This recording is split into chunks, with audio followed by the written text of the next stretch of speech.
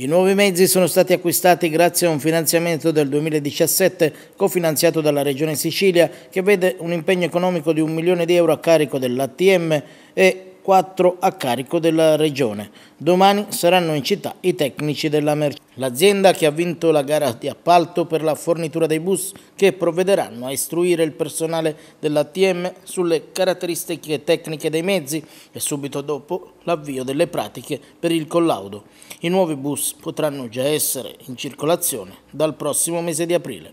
Al momento sono sette, a luglio ne avremo altri due e poi mi auguro che per fine anno ne arriveranno ulteriori 4 e rimanenti 16 nel 2020, quindi in totale nell'arco di un anno, da qua a fine 2020 avremo nuovi 25 mezzi che girano per, per, la città. Questo devo dire grazie alla partecipazione di ATM ai finanziamenti promossi dalla Regione Sicilia e noi investiremo circa un milione di euro, il finanziamento complessivo è di 5 milioni di euro.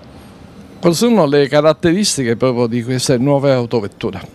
Ma, eh, abbiamo comprato, o meglio, la gara è stata vinta da, da Mercedes, abbiamo puntato molto sulla qualità del mezzo, eh, i mezzi sono dotati di tutta una serie di caratteristiche tecniche innovative, iniziando dal contapasseggeri, quindi a fine giornata sapremo quanti, quanti quante persone utilizzeranno il mezzo, eh, abbiamo le telecamere per la sicurezza, un computer di bordo e tutta una serie di novità tecnologiche che ovviamente per noi rappresentano un passo in avanti rispetto ai mezzi che oggi, fino ad oggi abbiamo, stiamo utilizzando.